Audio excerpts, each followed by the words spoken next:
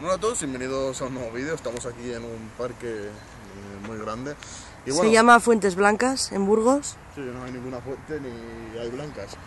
Eh, bueno, empezamos con la noticia. Eh, la noticia básicamente que la película de, de Bioshock que se ha sido cancelada por ahora. El director pues se ha, se de la película. El director, por cierto, era, era, español.